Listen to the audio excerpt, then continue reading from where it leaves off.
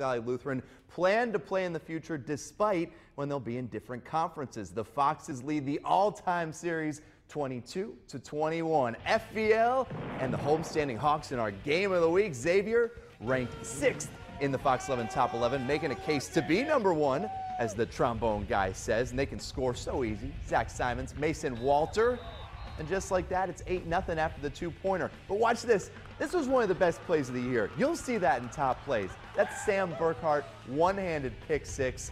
Are you for real? FVL still trying to hang in. Tyler Moeller with the pick.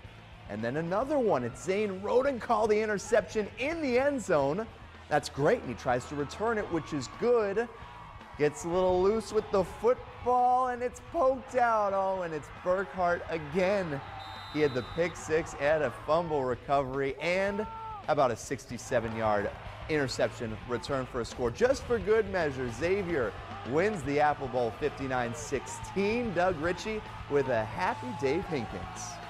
The Apple Bowl, the last one, at least as conference rivals. What did this mean to, to win this last one in conference? It's huge because it's going to mean more because of the playoff implications. And, you know, if we play in the future, it won't be the same. You know, you won't be following a different conference. It's going to be depersonalized from, from what this is today. So it meant a lot coming into this for us. It really did. You guys scored a lot of ways today. Uh, you threw an interception, but scored on that even. Yeah. Just dominant. You know, Sam, we don't let kids usually play both ways here. Sam did. He's, he's built for it. And I told him before the game, I said, you've done everything you can to be on the field every play, and you're going to dominate tonight. Sam is one incredible athlete, and, uh, you know, we hopefully, you know, keep on putting him in places where we help our team. Impressive win.